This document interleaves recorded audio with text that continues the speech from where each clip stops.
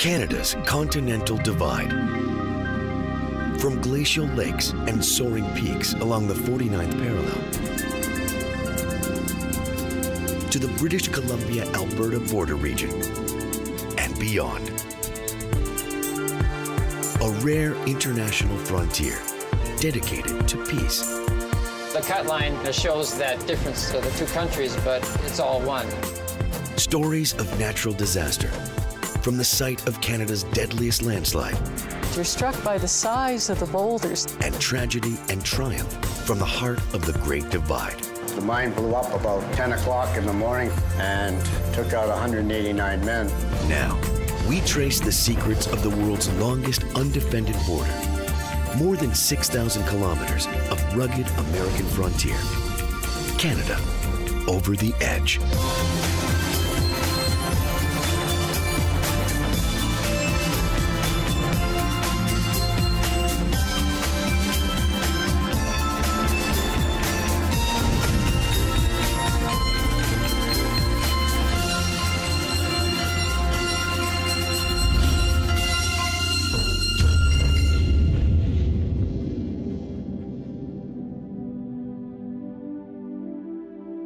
Continental Divide, or Great Divide, marks a major hydrological division in the Western Hemisphere.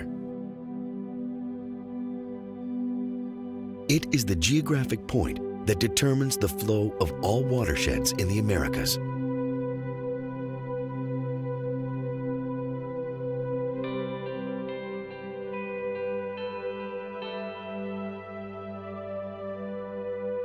The divide stretches from the Bering Sea to the Strait of Magellan.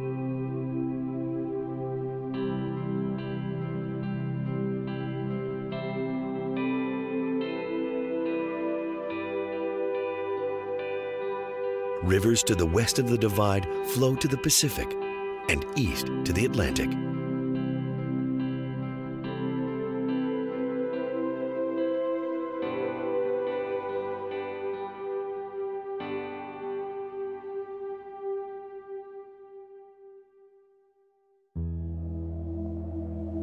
The Continental Divide traces the path of some of the most rugged and formidable landscapes in the world.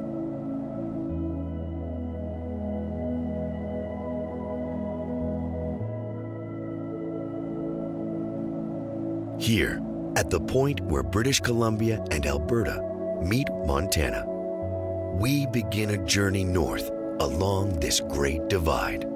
My name is Barb Johnson. I'm an ecosystem scientist or park biologist here in Waterton Lakes National Park.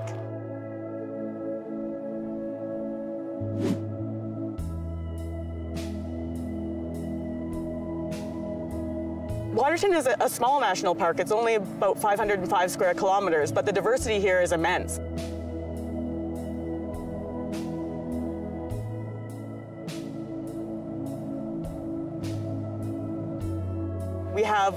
Really narrow spot in the Rocky Mountains. It's kind of a pinch point, so we have prairies meeting directly up with the high mountains here.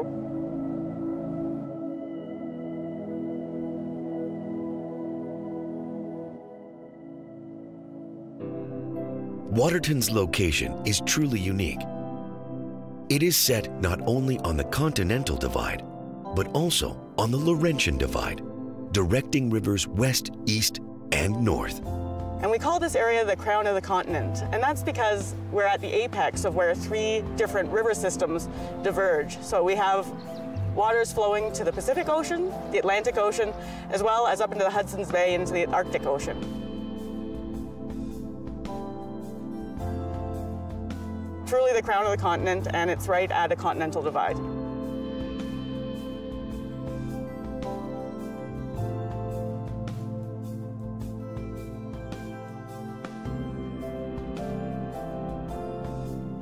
And Waterton lies directly across the 49th parallel from Montana's Glacier National Park.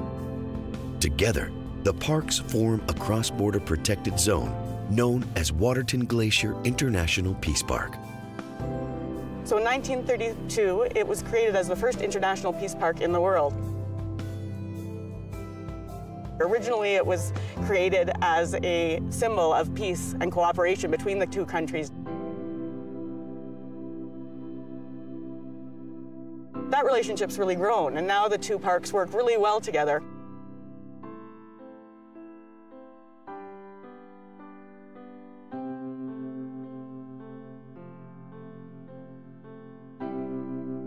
The park draws visitors from around the world.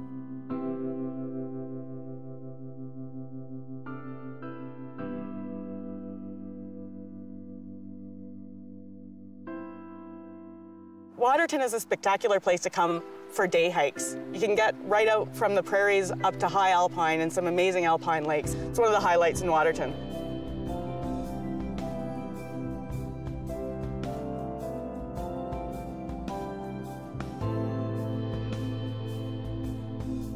One great opportunity you have is visiting Upper Waterton Lake. It's an amazing feature in the park. Um, Waterton is the smallest national park in the Canadian Rockies, but it has the deepest lake. Upper Waterton Lake is 150 meters deep.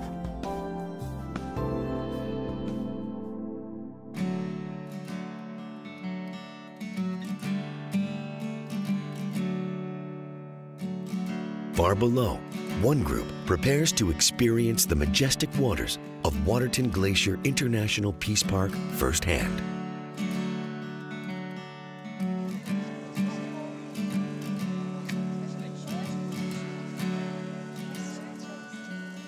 American pilot Phil Ruppel has been guiding visitors here for more than two decades. My name's Phil Ruppel, and I'm the captain of the MV International. You can see behind me, and uh, we're about to embark on a two-hour and 15-minute cruise of the Upper Waterton Lake. And what makes the cruise uh, unique to this area, just uh not only is it a beautiful scenery, but uh, we're going to make our way down to the south end of the lake, which is actually located in Glacier National Park, uh, Montana, USA. So a real international voyage aboard the MV International.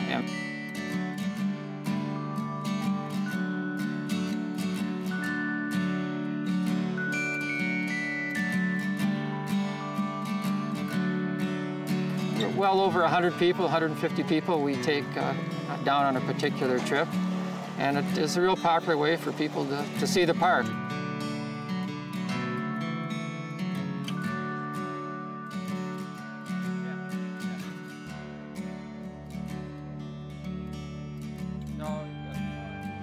You can sit right here if you want. You want to sit right here? Yeah, yeah. The MV International is a fixture on these waters, ferrying people across this marine boundary for more than 80 years.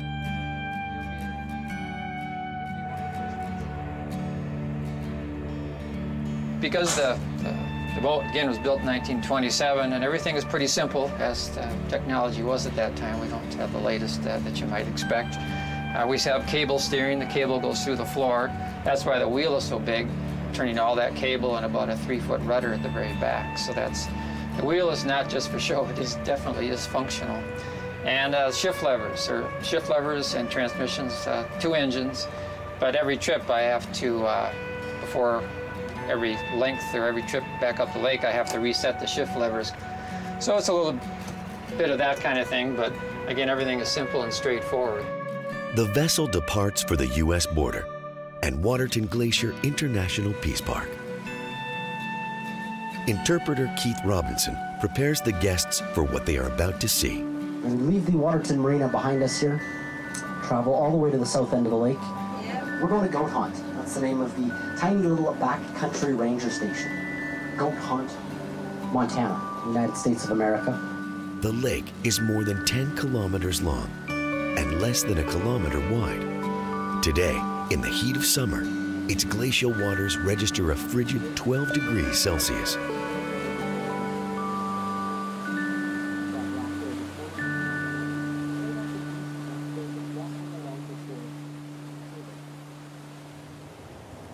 This is a landscape that's been recently glaciated, so all the features you see, uh, big bowl-shaped valleys, the pinnacles uh, to the peaks, and the castle-like formations, and the valleys have a U shape to them, and similarly, the lake does. If we could take the water out, it would look like uh, shaped like your bathtub. So not more than 10, 15 feet out from shore, uh, it drops off uh, very quickly.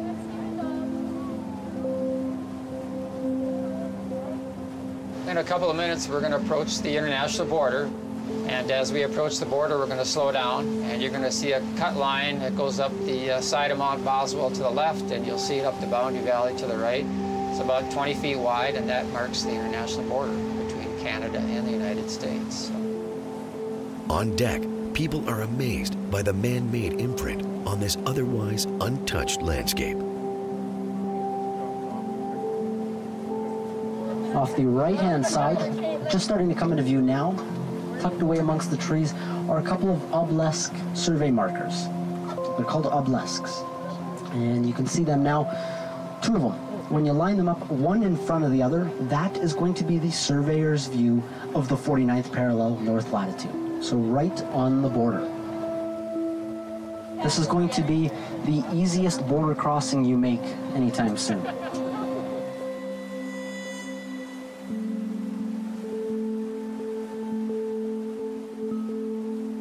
Just this past week, the trail crew guys at the ranger station at the south end of the lake, they cleared the boundary up the east side. So you're going to see, I mean, it's cut down to almost like your front lawn kind of thing. So it's really, um, it really stands out.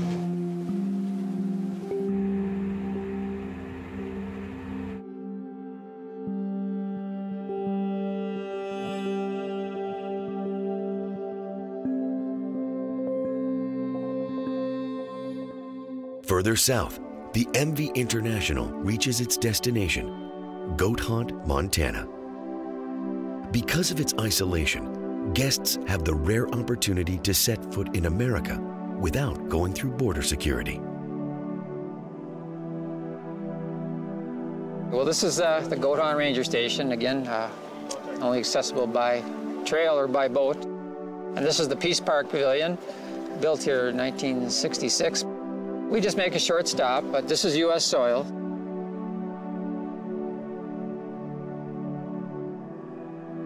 Back on the water, Captain Phil Ruppel prepares to leave his native soil and head back to Canada. Kind of a unique experience for a lot of people to cross the border and uh, be in the United States and actually step on the soil of the south end of the lake. So, and it kind of shows the the idea of this whole of the two national parks that this is an international peace park that uh, the ecosystem around us is the same the mountains haven't changed the landscape is the same on either side of the border. So the cut line kind of shows that difference of the two countries but in a sense it's all one kind of international peace park.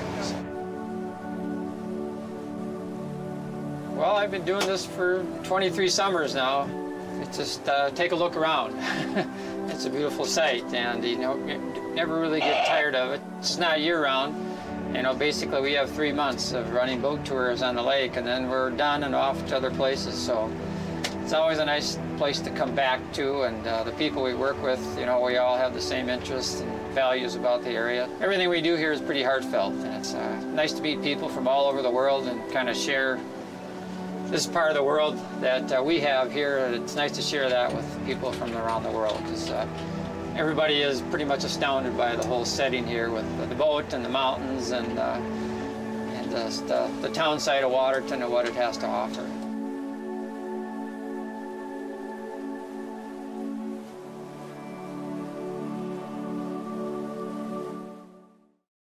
I think that's an interesting thing. This one piece will make 52 layers. Watch on mobile devices or the big screen. All for free. No subscription required.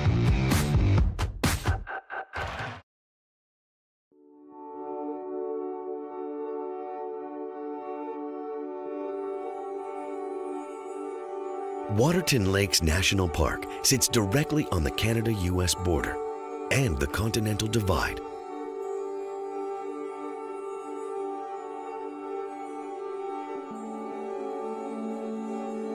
It is a small park measuring just over 500 square kilometers.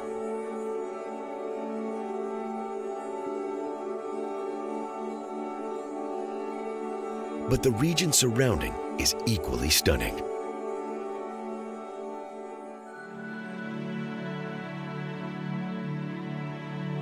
To the west, Akamina-Kishinena Provincial Park marks the southeastern tip of British Columbia.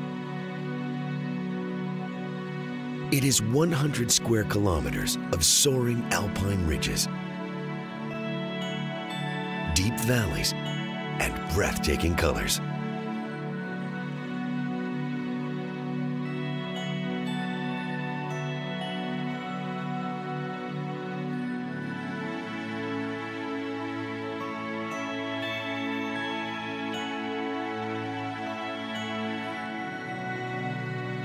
The park has served as a human migration route for thousands of years, connecting the Flathead River Valley to the west and the prairies to the east.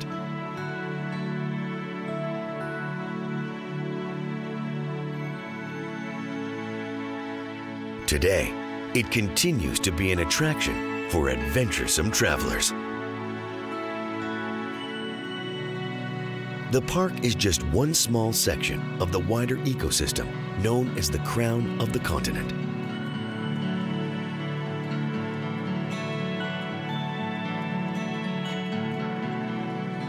It measures 72,000 square kilometers, covering parts of BC, Alberta, and Montana.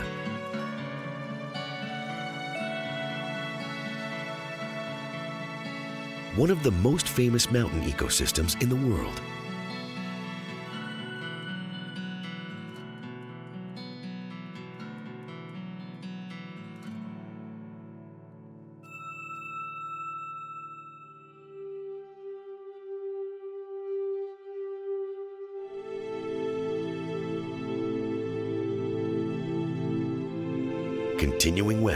Beyond the Flathead River Valley, we reach another border anomaly along the Canada-US divide.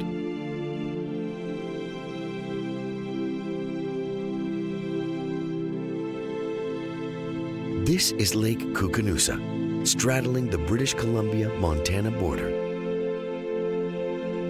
These pristine waters stretch 68 kilometers north of the 49th parallel and 77 kilometers below.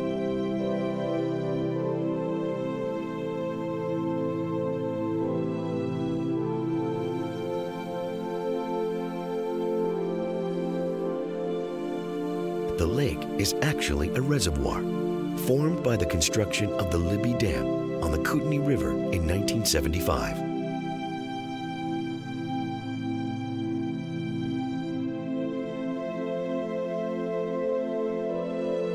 It was a massive effort shared by both countries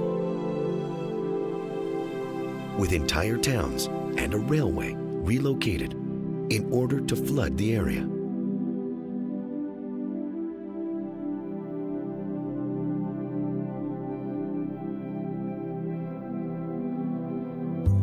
Name of the lake, Koocanusa, is a combination of Kootenay, Canada, and the United States.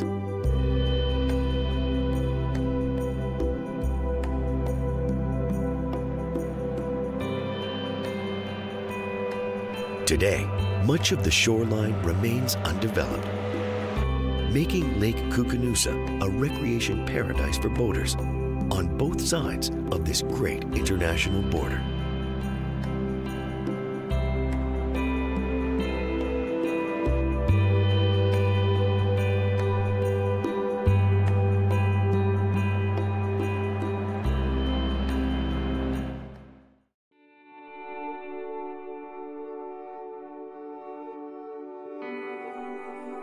Life along the Great Divide attracts outdoor adventurers from around the world. But for all the wonders these landscapes provide, dangers exist throughout the region.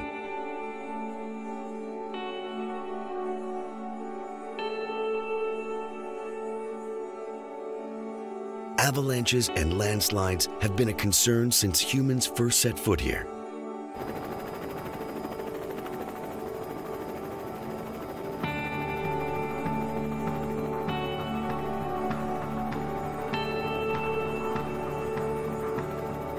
Today, this helicopter team is taking precautionary measures.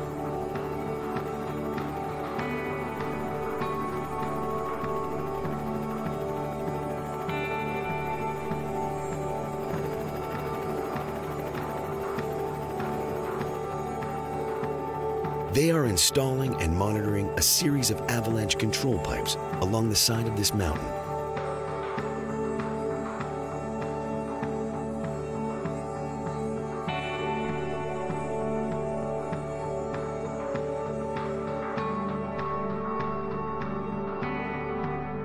Pipes are strategically placed in avalanche danger zones.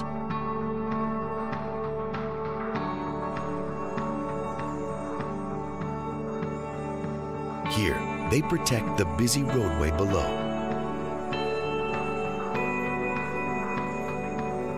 Using a mixture of propane and oxygen, the pipes create explosions to dislodge small amounts of ice and snow.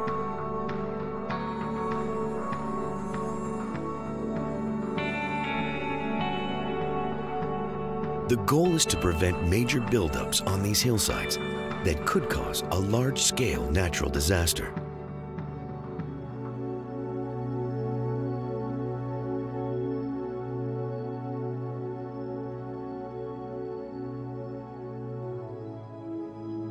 Sixty kilometers northeast of Lake Koocanusa, the community of Frank, Alberta, is a town that wasn't so lucky.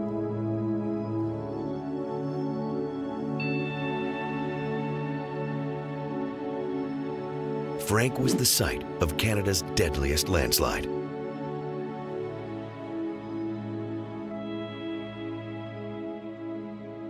April 29th in 1903 at 4:10 in the morning, 90 million tons of rock came down on the sleeping town of Frank. At that time, Frank had about 600 people in it. Fortunately, out of those 600 people, 500 were out of the way. And it was just a little over 100 people who were actually in the path of the slide, and most of them died.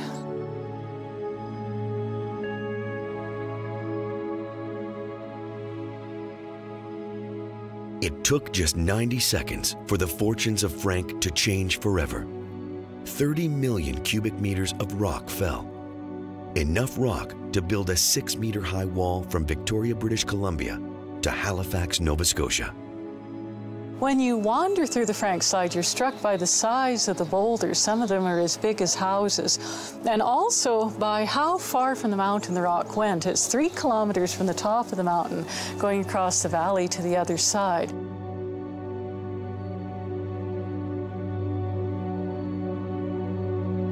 The displaced rock moved at more than 100 kilometers per hour and was heard more than 200 kilometers away.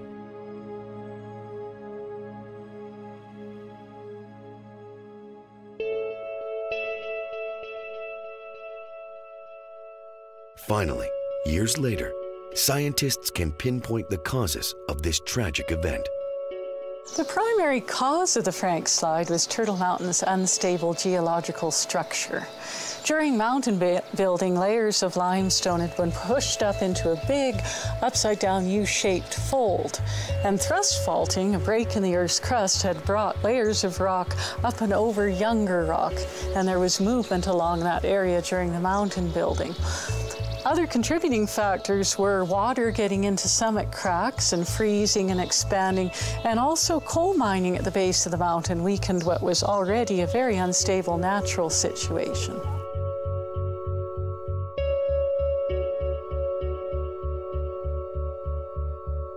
And by studying the culture of the region, it is clear the Frank Slide may not have been the first time Turtle Mountain crumbled, and it may not be the last.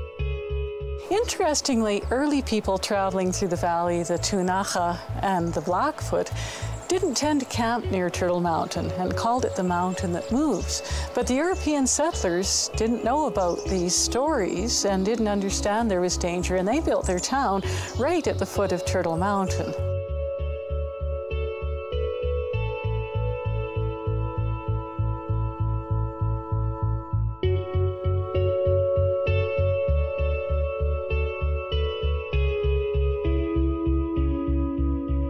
Since Turtle Mountain fell back in 1903, everybody has been wondering, will Turtle Mountain fall again? And the answer is yes. However, we don't know when. The timing is uncertain, but the same contributing factors that brought the mountain down in 1903 will bring more pieces of the mountain down. But Frank residents can rest easy. With a high-tech monitoring system in place, Frank Slide 2 shouldn't take anyone by surprise.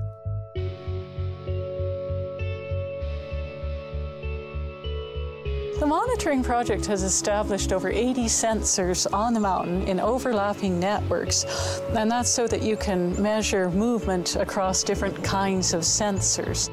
And all of these sensors are taking the mountain's pulse, and they are detecting movements as small as the thickness of a dime. And the idea is that no one needs to die next time, that we will know that Turtle Mountain is going to fall and we'll be able to evacuate people and manage the risk of the next rock avalanche.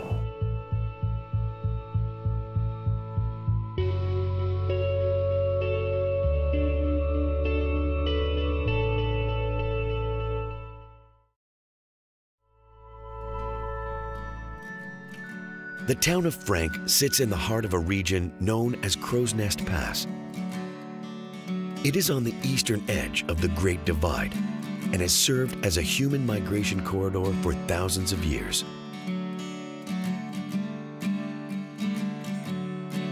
The pass features multiple small communities, including Blairmore, Coleman, and the village of Bellevue.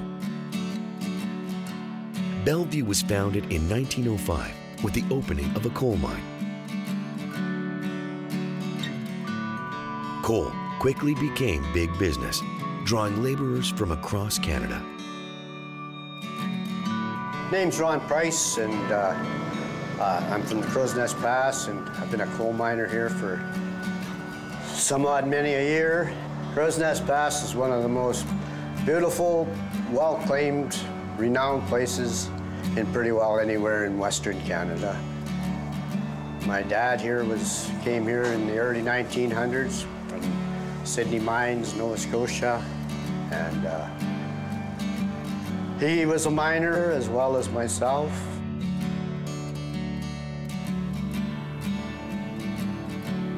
Today, the Bellevue Mine Museum preserves the coal legacy of Crow's Nest Pass. Ron Price is retired, but continues a daily inspection here, monitoring carbon monoxide levels and ensuring safe conditions for visitors. What I do here is I go in in the morning, I just check on things. Because I take my a, monitor, which is to check for gases or any CO or anything like that, and they check on the timbers, make sure that the, the wedges and everything's nice and tight on them. Oh, we're just putting a belt on for my lamp, so I'm able to see what uh, we're all heading in there. It's quite dark, but as dark as you can ever uh, quite imagine. It was good. And here we have a monitor, and I turn this on, which I will do once I get out of here, because if I set it off, turn it on in here, it'll just go off, and it'll just make a bunch of noise. So I'm ready to head out to the mine if everyone else is.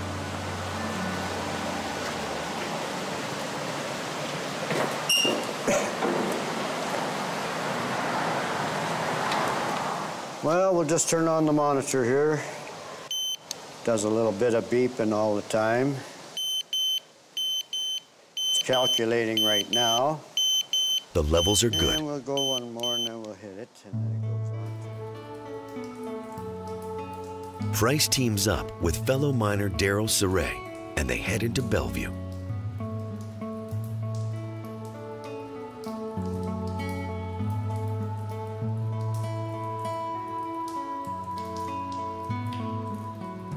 This is one of the places that we usually kind of have a look around here and make sure that everything's nice, tight, tight, and secure.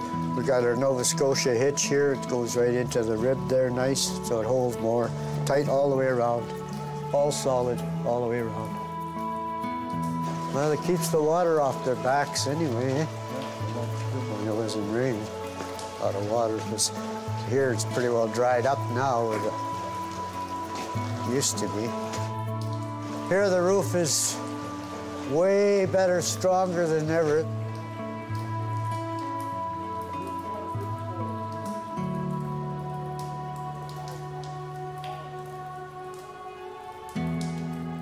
look at that. See, she's reading not bad, eh? It's good, good there. A little bit of CO, but not bad. No, CO is a little bit, but all reading's good. A little bit of CO, but nothing serious. The Bellevue mine was finally closed in 1961. Price and Saray continued to work in the industry for decades. Now, a stroll through these cold, dark recesses unlocks memories. Right in this area was where we loaded the coal cars, and there'd be a fella up there lifting up that. Well, they drop what this is called your apron. Next is your, your chute wall, yeah.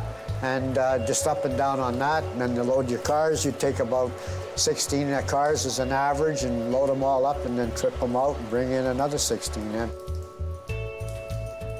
Uh, the boys were on contract mining back then too, a lot of them, and they were making pretty good money when they were on contract driving these raises. They were uh, probably getting somewhere from anywhere from 30 to 40 ton in a day.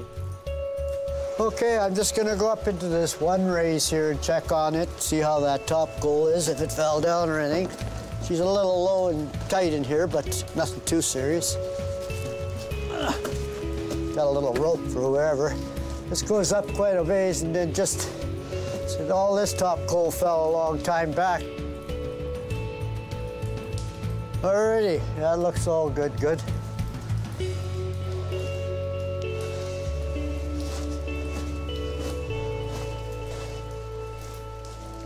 Bellevue's darkest moment came December 9, 1910, when 31 miners were killed in an explosion, one of several disasters to impact the region. For Price, inspecting Bellevue is a way to give others a window into life underground. I believe that any mine should always have a, a safety inspection. There's been quite a few disasters here. Uh, there was two here, explosions, uh, one in Hillcrest.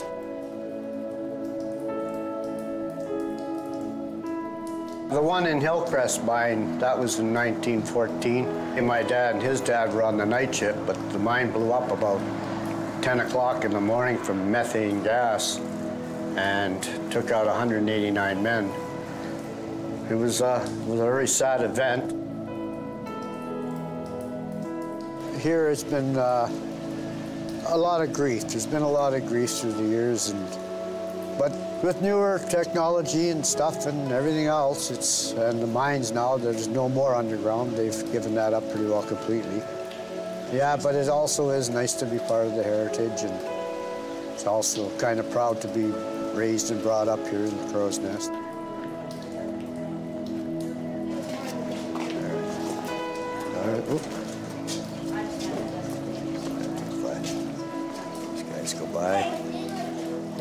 Not bad. How are you guys doing?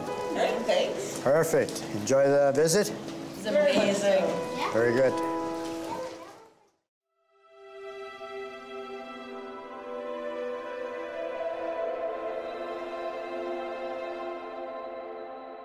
Seventy-five kilometers northwest of Crow's Nest Pass, we explore the western boundary of the Continental Divide.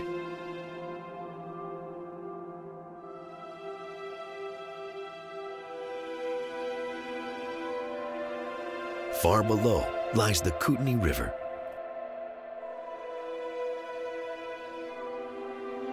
This 780 kilometer long waterway gradually winds its way west to the Pacific. Like all other rivers this side of the divide,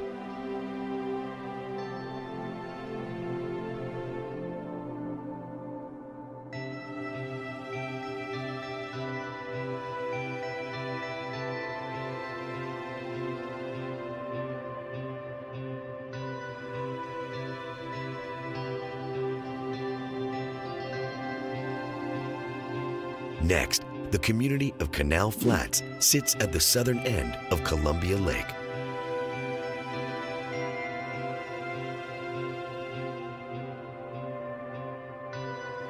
Columbia Lake is the source of the mighty Columbia River.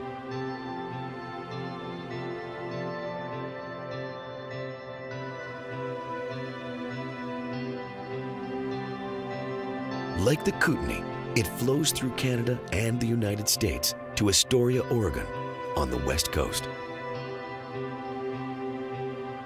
The lake is 13 kilometers long with shallow crystal blue waters, the warmest lake in the East Kootenay region.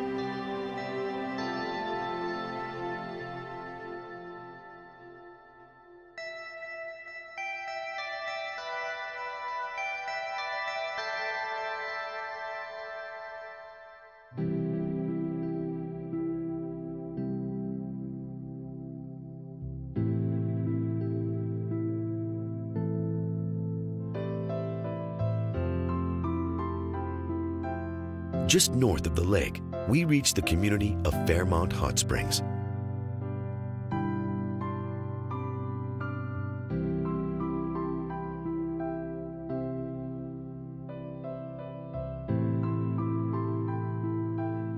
A century ago, Fairmont Hot Springs was just a small stop on a stagecoach route.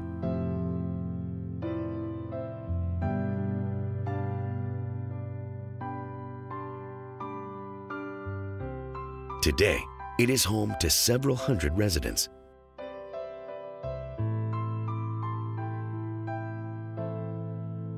But its resort and golf courses draw vacationers from North America and Europe.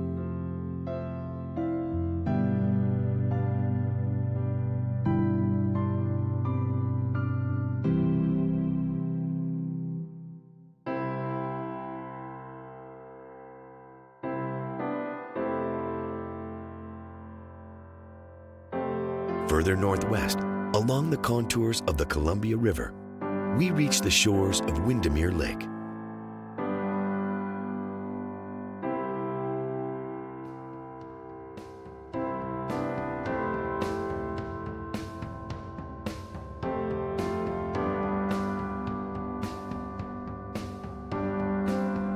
The lake is actually a widening of the Columbia and was once known as Lower Columbia Lake.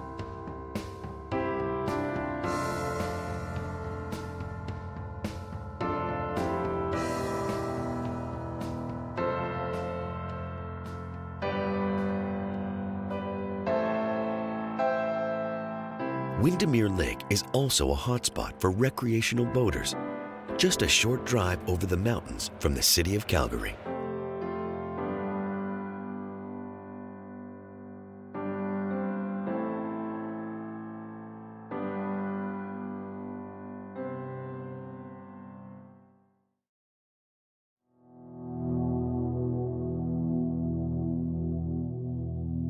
At the northern edge of the lake lies Invermere,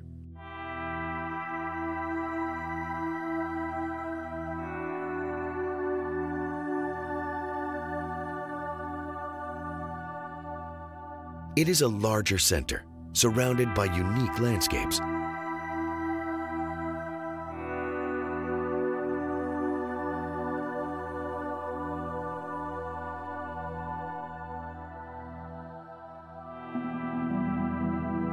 And a railway continuing north to Radium Hot Springs and beyond.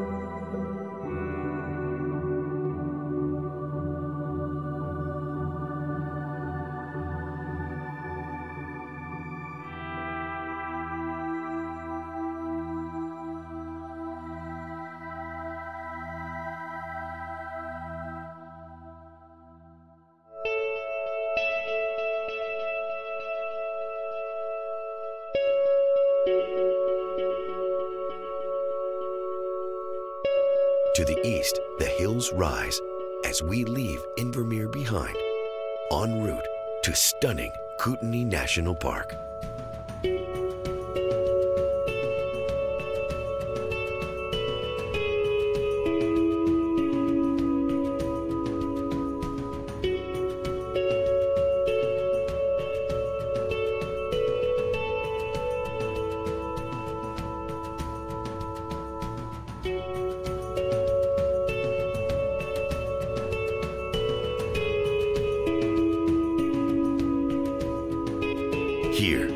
The southwestern entrance to the park, Douglas fir and ponderosa pine trees line the base of these peaks.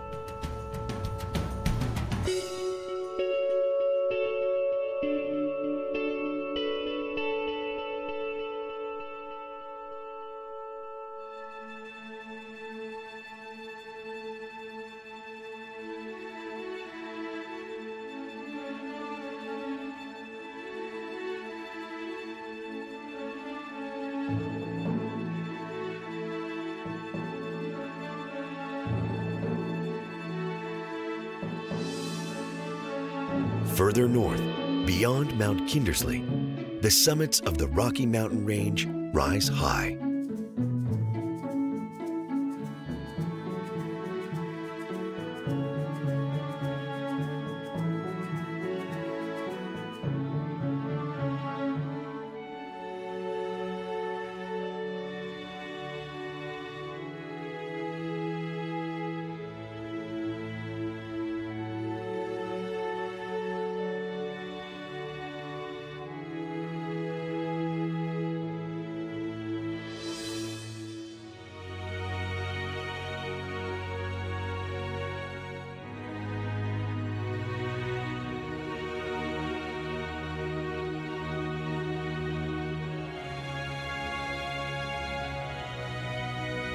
Kootenay National Park measures more than 1,400 square kilometers.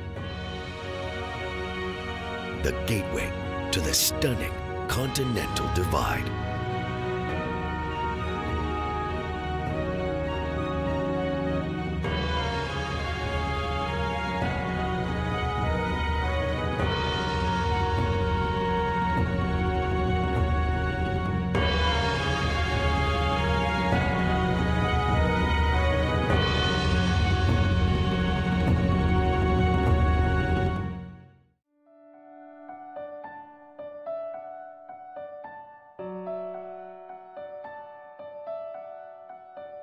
Mountain landscape leading from Waterton Glacier International Peace Park to Kootenay National Park on the western edge of the Continental Divide is a remarkable geographic journey.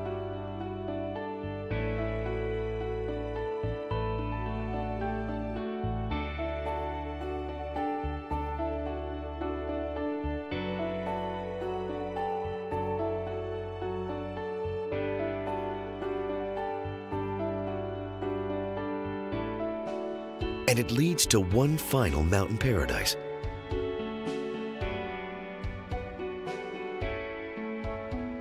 Banff National Park.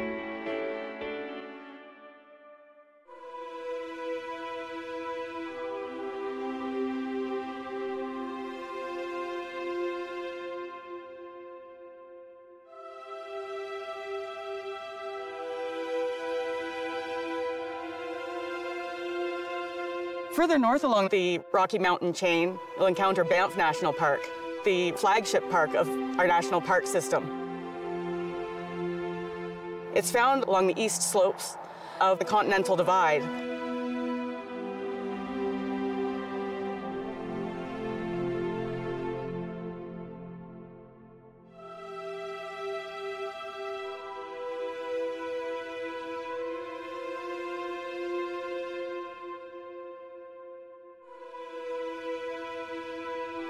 Park measures more than 6,600 square kilometers and was established in 1885.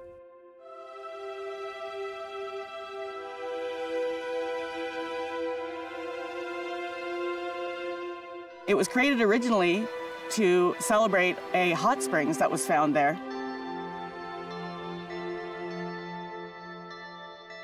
Now it celebrates the Rocky Mountains. It's about 37% rock and ice. It has hundreds of glaciers, has mountain goats up in the high alpine. It has elk out on the grasslands.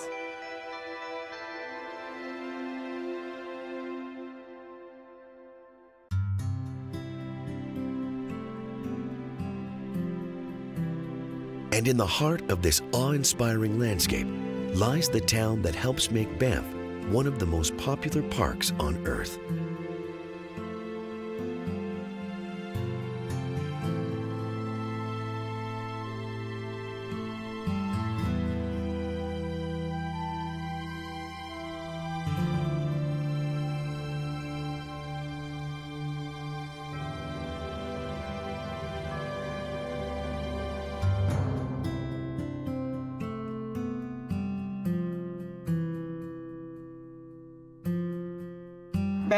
Nestled right in the mountains. It's a small town of about 9,000 people.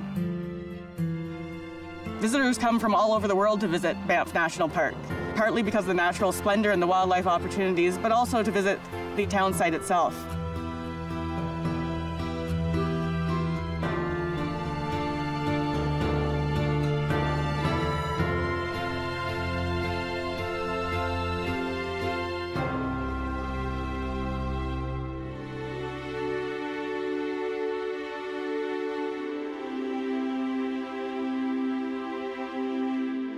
Banff National Park is a world-famous landmark on the eastern boundary of the Continental Divide.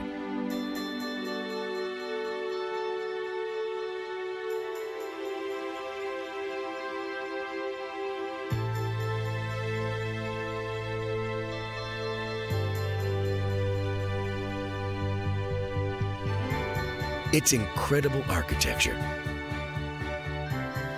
spectacular vistas, and first-class recreation opportunities make it the gem of the Canadian National Park System.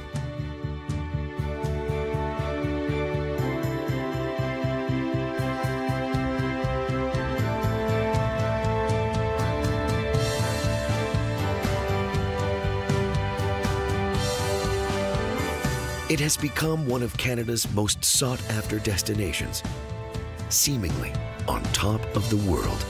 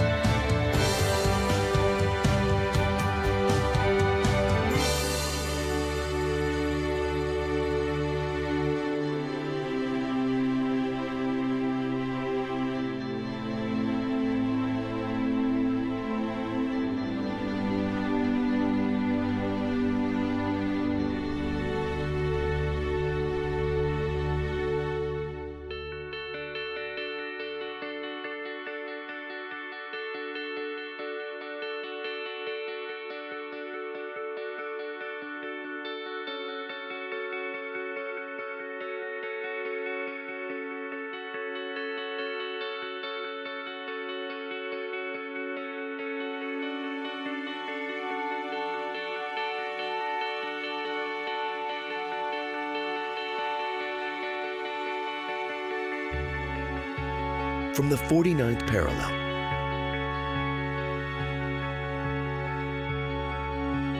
And the soaring peaks of the crown of the continent. To the incredible cultural stories of Crow's Nest Pass.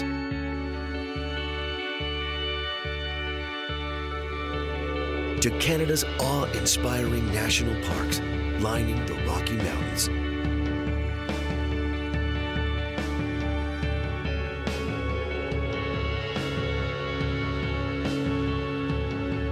Landscape along the Continental Divide is truly remarkable in the world.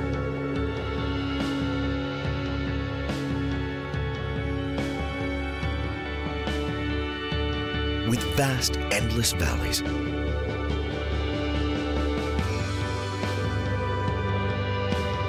winding international rivers,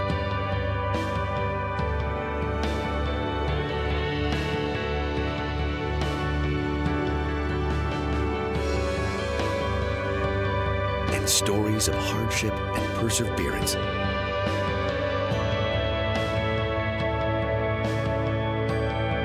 This is North America's true geographic frontier.